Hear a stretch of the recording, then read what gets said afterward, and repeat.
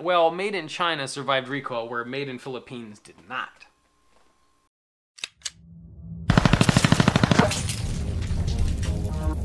And welcome back to Affordable Optics and Rifle Reviews. Today, we're going to be doing the Vortex Viper HST 6 to 24 by 50 and compare it to the Strike Eagle 5 to 25 by 56. Now, both of these optics MSRPs are fairly different. The Strike Eagle's MSRP is $799 US, whereas the Vortex Viper HST is $949 US. That's a pretty big difference, so why am I comparing the two? Well, their retail price is actually the same. I was just checking out Brownells and they were both $699. So that makes them pretty darn comparable. Now, mind you, this one has been on the market for, I want to say around eight or nine years. I might be a little bit wrong about that year, but it's pretty close to that. And the Strike Eagle, well, it just came out in 2020. So it's kind of normal in the sense that the Strike Eagle has a lot of features and is a little bit better than the HST. But we're going to be going over those regardless. So as far as glass quality goes, take a look at this.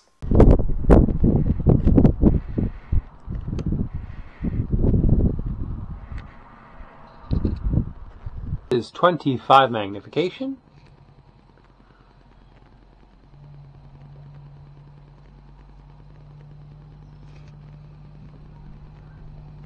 Now, from what I've seen, the Vortex Viper HST and the Strike Eagle's glass is very comparable. However, the Strike Eagle's glass is brighter, obviously because it has a 56 millimeter tube compared to a 50 millimeter tube. You can tell that it's much bigger. So for glass, we're definitely going to give the points to the Strike Eagle.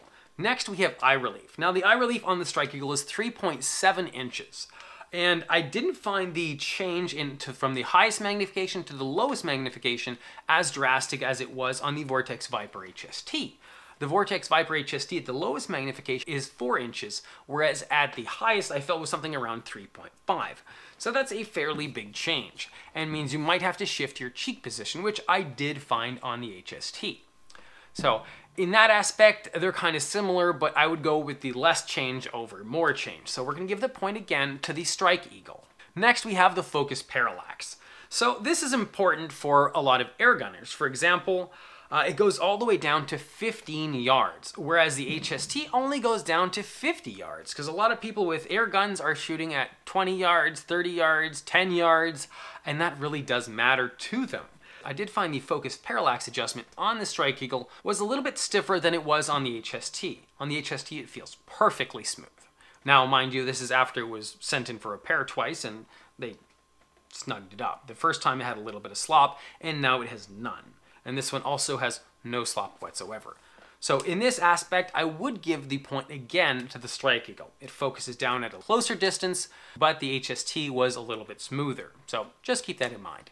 Next, we have recoil. Now this, yes sir, one of them definitely takes the win. Now, the Vortex Strike Eagle 525 by 50, I've probably put around two or 300 rounds through it. The HST, well, I've probably put around four. It was sent in originally because the windage adjustment fell off, which I don't know, guys. I don't know. Well, uh, this is actually a pretty interesting development. uh, I was adjusting the um, the windage while we were seeing how much windage adjustment it has, and I mean, this popped out.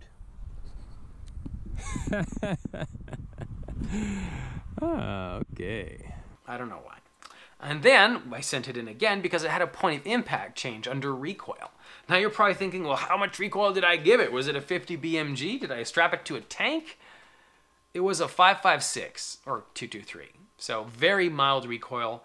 I was shooting out at 400 meters and I realized I not hitting my target at all and I really couldn't figure out where I was sitting because it's a lot of grass. And then I walked all the way back to 100 meters and I had not touched the windage adjustment and I was 8 MOA off at 100 meters. Now that is drastic. That is that is a lot. That is a lot. So that was the second time I sent it in for repair. And Vortex's diagnosis also came back with the same results. So they fixed that up for me and they sent it back again. So that's great. So technically now they should both survive under recoil. However, we're definitely going to give the point to the Strike Eagle. Now people are always saying, oh, well, made in China, made in China. Well, made in China survived recoil where made in Philippines did not. Next we have the reticle. Now on the Vortex Viper HST has the VMR reticle. You can get it in MOA, you can get it in MRAD. Now the subtensions in the reticle go by 2 MOA per line. Now on the Strike Eagle, now this is a badass reticle. This is the, the EBR-7C reticle. You can also get it in MRAD or MOA. I chose MOA because I'm just more familiar with it. Now, is it personal preference or is one generally more usable? I would say the EBR-7C is generally a lot more usable. It has a lot more holdover points in it and it's far more usable. And I actually like it a little bit better. It's also a glass etched reticle, whereas the HST is a wire reticle. So those two things matter. A glass etched reticle is a lot more durable than a wire reticle ever could be. So we're going to give the point again to the Strike Eagle. Now mind you, this is a much less expensive based on MSRP, but retail is just the same. So for the turrets, the HST has 65 MOAs worth of internal adjustment which is great. Uh, it's maybe a little bit on the low side, you know, in 2020. Maybe about eight years ago, that was like, oh, that's a lot. Now it's kind of like, eh, I want a little more. Considering the Strike Eagle has 110 MOAs worth of internal adjustment. Mind you, mind you, there are a few things that make one maybe slightly more desirable than another. The HST has a soft type zero stop, which isn't as good as the hard type zero stop in the Strike Eagle, but you can use more of the internal adjustment in the HST, whereas in the Strike Eagle, you can only use 47 MOAs worth of internal adjustment once you install the zero stop. And it doesn't matter how much MOAs on your rail you have on your rifle. It doesn't matter. I had it on a 0 MOA rail, I can only crank it to 47. I put it on a 20 MOA rail, I could still only crank it to 47. So if you have like a 30 MOA rail, well, that should leave you with about 60 MOAs worth of internal adjustments to use in this object. Mind you, the erector tube might be a little bit canted like this, and you might be looking at it a bit like that in order to get a clear picture. So there, there's a few things to consider with that. Now, in design, I'd say the Strike Eagle is far more usable. You have your first set of numbers in big here, which is your first rotation. And on your second rotation, you have little numbers in bracket. So it goes 25 MOAs per rotation, which is a lot. This one only has 12. And on the second row, well, it'll obviously go all the way to 49. So there is a lot of great, great things on the Strike Eagle that really just aren't there on the HST. But then again, this is eight years later, eight years worth of innovation. And this is what they came up with. And I'd say it's pretty darn badass. So lastly, there is the warranty. So the warranty is obviously going to be the same for both of these optics because they're made by the same company. Well, duh. So, so what do I think about these optics? Would I choose one over the other? Well, I certainly, certainly would. If I had the money, which I mean I do, I would pick the Strike Eagle every time. Mind you, some people prefer a thinner reticle for their extended long range type shooting.